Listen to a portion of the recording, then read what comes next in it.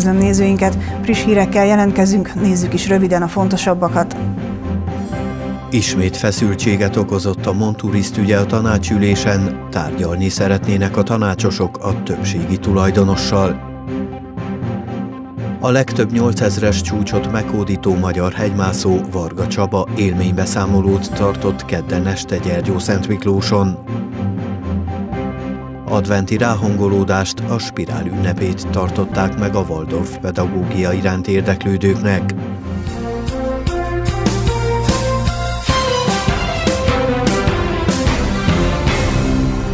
Újabb fejezetéhez érkezett a Monturiszt ügy, a Gyergyó Szent Miklós és a budapesti 5. kerület önkormányzatainak közös tulajdonában lévő gyilkostói területeket kezelő cég kapcsán ismét áll a bál Gyergyó Szent Miklós önkormányzatánál. Egyetlen napi rendi pontért hívták össze a Gyergyó Szent Miklósi önkormányzati képviselőket. Költségvetés módosítás volt napi renden. Mintegy 600 ezer lejt kellett szétosztani. Jutott belőle ösztöndíjakra, beteggondozásra és fapénzre is. Hozzászólás nélkül teljes egyetértésben fogadta el a testület az előterjesztést. A tanácsülés összehívóját kedden kapták meg a tanácsosok, a szerda délelőtti ülés előtt fél órával érkezett a Monturist Kft. közgyűlési összehívója, mint egy informálásként. Értetlenül álltak előtte a tanácsosok, hiszen az iratokból kiderült, október 26-án írta meg a cég ügyvezetője, a Városházán pedig december 5-én iktatták. A napirend többek közt az ügyvezető kinevezésének meghosszabbítását is tartalmazza öt évre. A napirendhez módosító javaslatot legalább tíz nappal a közgyűlés előtt lehet tenni, az már nem teljesíthető, szándékosan húzta az időt az ügyvezető a testületi tagok szerint. Az ügyvezető semmibe veszi a Gyergyó Szent Miklósi testületet, játszik vele. Méltatlankodtak a tanácsosok az ülésen. Ráadásul az ötödik kerület honlapjáról kiderítették az ülésen, csütörtökön ülésezik az ottani képviselőtestület, a napi renden szerepel a Monturiszt közgyűlése. Ebből arra következtettek, Budapestre hamarabb eljutott az összehívó. Ugyanaz a forgatókönyv, mint legutóbb, mutattak rá többen is. A legutóbbi közgyűlés összehívása is hasonló módon történt azzal, hogy nem kerülhetnek napirendre a Gyergyó Miklósi javaslatok, csak a közgyűlésen szembesültek a megbízott tanácsosok, akik szavazás nélkül távoztak akkor az ülésről. Egyre több gyerek betegszik meg légúti fertőzések miatt, sokan kórházi kezelésre szorulnak. A szakértők úgy vélik, az évtized legagresszívebb gyermekkori vírusfertőzési szezonjával állunk szemben. A jelentések szerint az országban 24 óra alatt 200 esetet vettek nyilvántartásba, ami a sok éves átlag kétszerese. Szakemberek szerint a kialakult helyzet várható volt, hiszen a pandémia éveiben a korlátozások miatt zártabban, óvatosabban éltek a családok. A gyerekek nem voltak kitéve azoknak a kórokozóknak, amelyekkel most találkoznak. Az immunrendszerük nincs felkészülve, hogy gyorsan és hatékonyan védekezzen a vírusok ellen. Jelenleg a legtöbb 8000-es csúcsot meghódító, élő magyar hegymászó a nagyváradi Varga Csaba, aki élménybeszámolót tartott december 6-án a Fogarasi Mihály Műszaki Liceum dísztermében. Szép számú érdeklődője volt annak a rendezvénynek, amit Varga Csaba, nagyváradi hegymászó tartott kedden este a Fogarasi Mihály Műszaki Liceum dísztermében. A nagyváradi hegymászó kisegítő oxigén és serpák segítsége nélkül mászik, eddig összesen 5-8 ezer méternél magasabb hegycsúcs tetejére is sikerült feljutnia. A barangoló mozgatórugója, hogy felfedezze a természetet. Természet szeretete, felfedező, ösztön egy kicsit, hát a Hát valamilyen szinten ez egy, ez egy ilyen felfedezés a, természetben, messzi tájakon, magas hegyeken, önmagadat túl szárnyalni sporttolói szempontból, és hát nyilván van egy um, ilyen nemzeti öntudat, motiváció uh, is benne, és emiatt mindig magyar zászlóval megyek fel ezekre a magas hegyekre, nagyvárat felirattal, és hát evel is a lokalitást úgymond helyi magyar közösséget, Erdély párcímű magyar életet próbálom egy kicsit motiválni, vagy rávilágítani a hangsúlyt a otthon maradásra. Erő Zsolt személye leginkább ösztönszerűen hat a tevékenységére, mint hogy eltántorítsa a mászástól. Rám is ösztönzően hat az ő példája, mármint a, a sikerei leginkább, és uh, nagyjából én is ezen az úton járok uh, valamilyen szinten. Úgyhogy uh, nem, tehát ösztönzően motiváció, motivál az ő életpályája. Varga Csaba elmondta, vannak további tervei, ami a hegyek meghódítását illeti, de egyelőre nincs konkrétum. Az előadás során a Himalája expedícióiról hallhattak a résztvevők, valamint filmes beszámolót is láthattak az Everest és a Daulagiri megmászásáról. Valamikor 2008-ban, ugye akkor volt az ilyen relatív magas hegyem, az első ugye a Mont Blanc, amit akkor 2008-ban sikerült megmászta, 2008-ban a Mont Blancot és a Kaukázusban az Elbruszt másztam, meg 2009-ben a Kantengrit, másztam meg sikeresen, aztán voltam a Pobedán is, az nem, az nem sikerült, és valamikor 2013-ban próbáltam ki magamat egy 8000-esen, Ugássembrum 2 Pakisztánban, ez a világ 13. legmagasabb hegye, és hát lényegében egy könnyebb 8000-esnek számít. Ugye pont abban az évben, amikor hát sajnos Erő Zsolt eltűnt a Kancsenjungán, Ugye hát ez májusban történt, és én három hétre ráindultam az én első 8000-es expedíciómra, egyedül, egyedül mentem, és hát ugye én is ezen az úton akartam haladni egy oxigénpalack nélkül és teherhordók nélkül, ahogy Erős Zsolt tette. Nem tudtam, hogy egyáltalán a, a szervezetem a, kibírja ezt a, ezt a nagy magasságot, mert hát ugye ez ez részben edzés kérdése, viszont nagy részben genetika is. Úgyhogy 2013-ban volt az első 8000-esem, ez sikerült. 2014-ben a Broad Peak-et sikerült megmászni, 15-ben egy, a K2-n voltam, de ez nem sikerült, akkor abban az évben senki sem mászta meg. 17-ben a Manaslut sikerült megmászni, 19-ben a Gassenbrum 1-et, és hát 2020-ban lett volna, szeretném volna megpróbálni az Everestet oxigénpalack nélkül.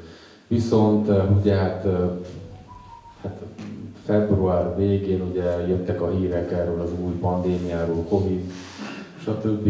koronavírus, és hát két héttel, a, vagy egy, igazából március közepén hát lezárták Nepált, és hát el kellett halasztani egy évvel az expedíciót. Az esemény végén a résztvevők kérdéseket tehettek fel a hegymászónak. Románia több mint 40 madárfaját a kihalás fenyegeti, további csak nem 30 pedig mérsékelten fenyegetetnek minősül, hívta fel a figyelmet a Román Madártani Egyesület és a Milvusz csoport Madártani és Természetvédelmi Egyesület. A vörös listát miniszteri rendelettel hagyta jóvá a környezetvédelmi, vízügyi és erdészeti tárca.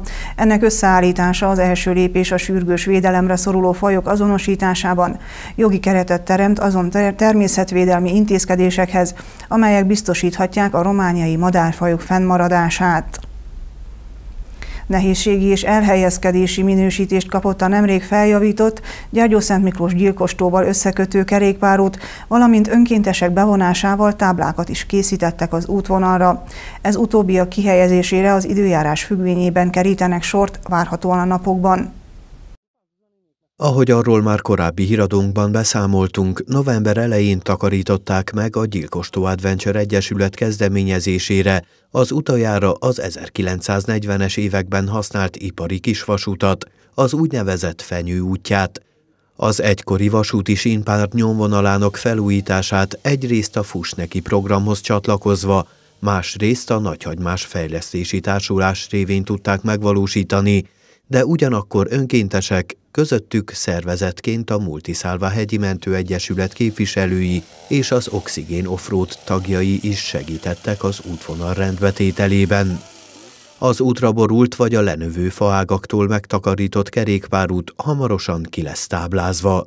A táblákat gyerekek bevonásával a napokban készítették el, a Gyilkostó Adventure és a Fejlesztési Társulás szervezésében. Ez a bicikli útvonalnak a története egészen még a 2015-ös évig nyúlik vissza, amikor a Hargita megyei Szávamont lehetséges útvonalakot tervezett meg Gyilkostó és Gyergyó Szent Miklós között.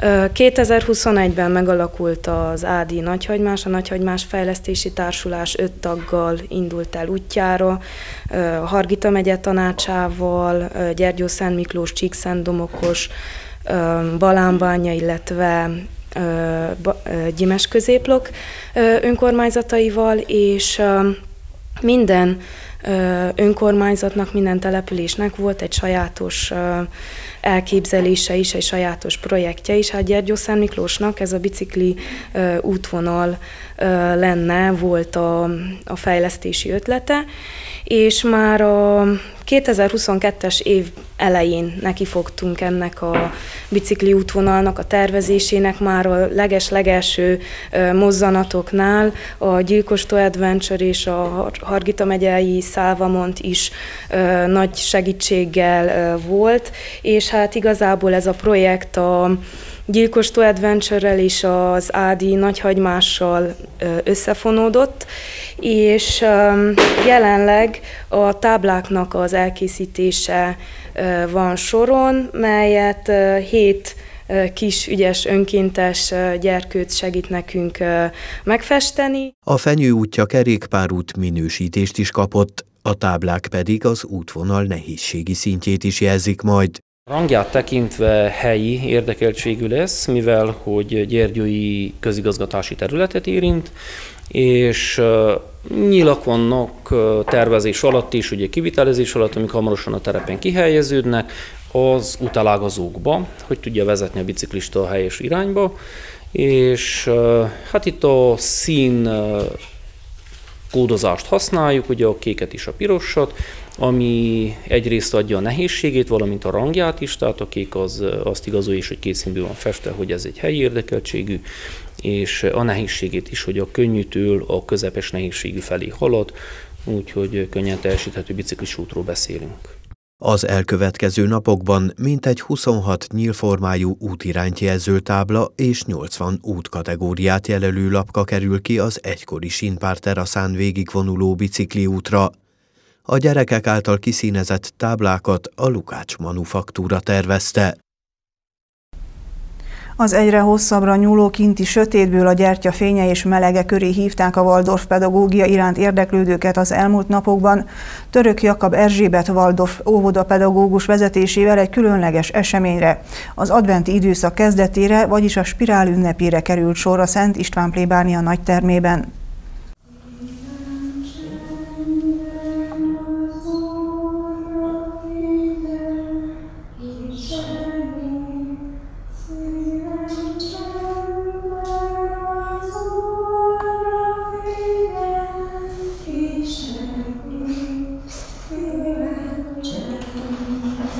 Bensőséges, meghitt ünneplésre várta a virágzó Valdorfa Gyergyói medencében nevet viselő közösség a szülőket és a gyerekeiket advent második vasárnapját megelőző pénteken. Különleges élményben volt része minden résztvevőnek a Szent István plébánia nagytermében, Török Jakab Erzsévet Waldorf óvópedagógus vezetésével. A spirál ünnep egy adventre hangolódó ünnep a Waldorfban, ahol egy picit lehetőség van arra, hogy elcsendesedjünk, és szeretetet osszunk meg az embertársainkkal.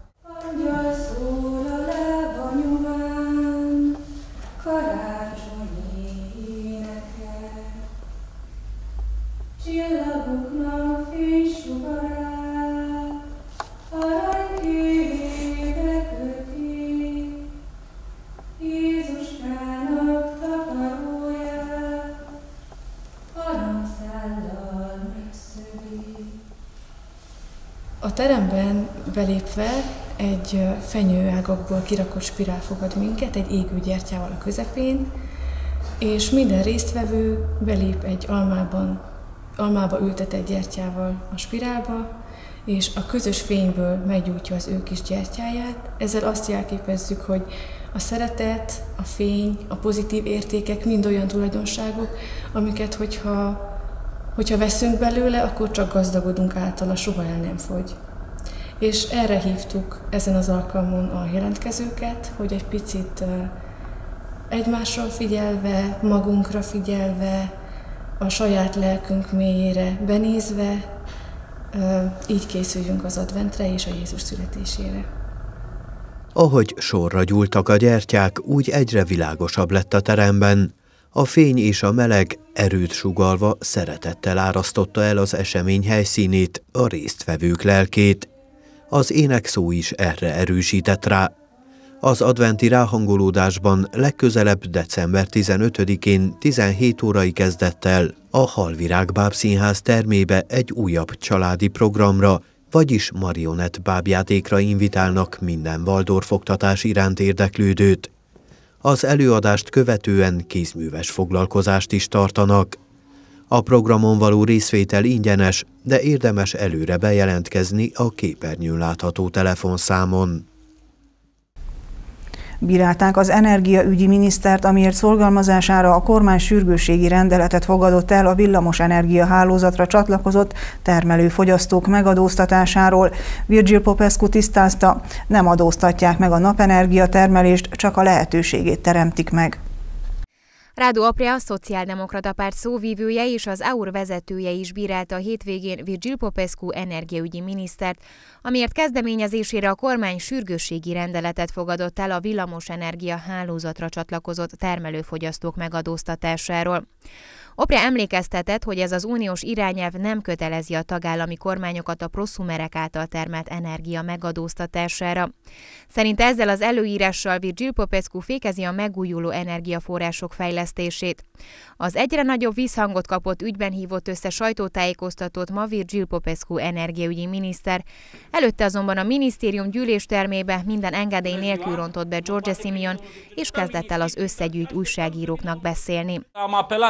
Alte instrumente parlamentare. Más eszközökkel is próbálkoztam, de Virgil Popescu nem jött el, hogy válaszoljon például a napfényadóval kapcsolatos kérdésekre. Virgil Popescu minisztertől várjuk a magyarázatot. Nem akar a románokhoz jönni magyarázatot adni. Ezzel nincs problémám. Várom, hát ha eljön. Tíz egymást követő alkalommal kértem az energiaügyi minisztériumban, hogy találkozhassak a miniszterrel, de ő egyetlen alkalommal sem volt hajlandó részt venni. A botránykeltés miatt a csendőrség is megjelent, hogy eltávolítsa az EUR képviselőit az épületből, az azonban nem volt hajlandó elhagyni a helyszínt, arra hivatkozva, hogy ellenzéki politikusként joga van kérdéseket feltenni a szakminiszternek.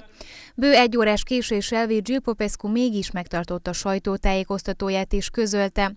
A nyilvánosságban felröppent hírekkel ellentétben az áramtermelő fogyasztók nem fognak semmiféle napfényadót fizetni, és a kritizált sürgősségi rendelet valójában egy uniós irányelv átültetése a hazai jogrendbe. A villamosenergia hálózatra csatlakozott termelő-fogyasztók több helyszínen is telepíthetnek napelemeket, ugyanolyan kompenzációval és cserélgethetik a napelemek helyszíneit itt. A helyszínek cseréje korábban csak az elosztó hálózatokon belül volt lehetséges. A direktíva gyakorlatba ültetésének elmulasztása uniós szankciókat vont volna maga után. A szaktárca pontosítása szerint az uniós direktíva 2026-tól bizonyos körülmények között valóban lehetővé teszi egy ilyen adó bevezetését, de az Energiaügyi Minisztérium soha nem támogatna egy ilyen kezdeményezést. A Gyergyói Hoki Klub minden évben csatlakozik az Együtt Egymásért jótékonysági akcióhoz. Nem lesz ez másként idén sem. Arra kérnek mindenkit, hogy a pénteki Gyergyói Hoki Klub háromszéki ágyúsok mérkőzésre vigyen magával lehetőségei szerint tartós élelmiszereket. Ezeket az adományokat a pályabisztróban várják. Aki esetleg nem tudna jelen lenni a meccsen, az adományát a Gyergyói Hoki Klub irodájába is beviheti. A fogyatékkal élők világnapja alkalmából karácsonyi jótékonysági kézműves kiállítást szerveztek Csíkszeredában. Fogyatékkal élők által készített kézműves tárgyakat vásárolhattak meg a látogatók. Hargita megye tanácsa alintézménye a Hargita megyei Szociális és Gyermekvédelmi Vezérigazgatóság hitvallása. Fontos felhívni a figyelmet az akadályozottsággal élő személyek problémáira, és arra törekedni, hogy ezek az embertársaink a társadalom egyenrangú polgáraiként élhessenek. Ezért idén is várták az érdeklődőket a hagyományos karácsonyi jótékonysági kiállításukra. Örvendünk, hogy két év kihagyás után újra meg tudtuk szervezni ezt az eseményt, ez most már több éves, hát már tíz éves hagyománya van, azt mondhatjuk, és nagyon fontos alkalom ez, amikor tudnak találkozni mindazok, akik a sérült személyekkel foglalkoznak, szervezetek, intézményeink, sérült személyek be tudják mutatni azt, hogy mennyi szép dologra képesek, itt tényleg komoly képzőművészeti értékek is születnek ezekbe az otthonokba és a, a nappali központokba, és fontos, hogy megmutassák ezeket, fontos, hogy érezzék, hogy az emberek értékelik ezeket a dolgokat. Egy ilyen alkalom ez. A rendezvény sikerességét mi sem bizonyítja jobban, mint az a tény, hogy 2008-tól az esemény megszervezéséhez csatlakozott a Gyulafehérvári Karitász, majd a Hargita megyei Sérültek Egyesülete, valamint sérült személyeket foglalkoztató civil szervezetek is. A beutartjaink nagy lelkesedéssel készülnek, mindig örökké várják, hogy hát először is mindig a karácsonyt várják, mert mindig ajándékot szoktak kapni, vannak támogatóink, és minden évben, amit szeretnének, összeírjuk, és akkor kapnak ajándékot. Azon azon kívül ezekre a vásárokra is mindig nagyon nagy lelkesedéssel készülnek, mert ilyenkor összegyűlik a, a társasága. Van, van egy olyan foglalkoztatunk, úgy hívjuk mi, hogy klub, és um, ott szoktak mindenféle ilyen, uh, ilyen díszeket, uh, adventikoszorúkat, és uh, hát más ilyen uh, képeslapokat, meg ilyen hasonló dolgokat szoktak ott eh, készíteni, és eh, hát ezeket mindig szeretik, mert hogy egy, hogy ez egy, eh, egy olyan tevékenység, ami leköti őket, és a másik, hogy azért fejlesztés a, a finom motorikájukat, meg egyáltalán a szociális készségeiket is, mert akkor együtt vannak, beszélgetnek, van, hogy a hátébe megy a karácsonyi zene, énekelnek, szóval nagyon nagy hangulata van ennek az egésznek. A karácsonyi jótékonysági kiállítást 2006-ban szervezték meg először, és a rendezvény célja azóta sem változott felhívni a csíkszeredaiak, a Hargita megyeiek figyelmét arra, hogy az akadályozottsággal élők szorgalmasan dolgoznak, rendkívül tehetségesek és csodás alkotások, egyedi kézműves termékek kerülnek ki a kezükből, melyek akár karácsonyi ajándékként is megvásárolhatók.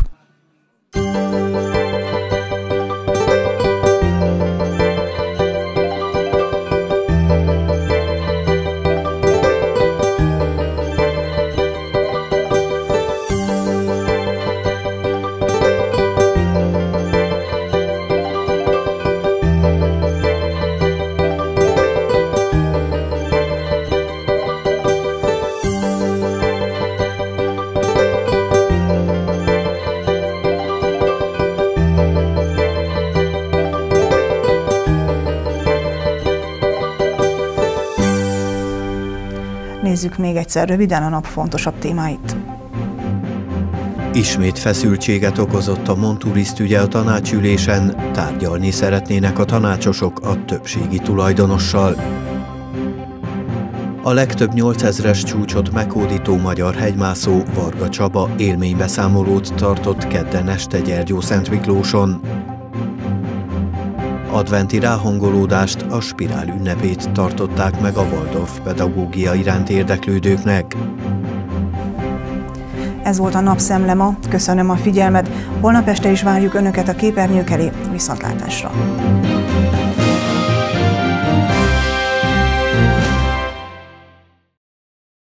Műsorunk támogatója a Diego Áruház.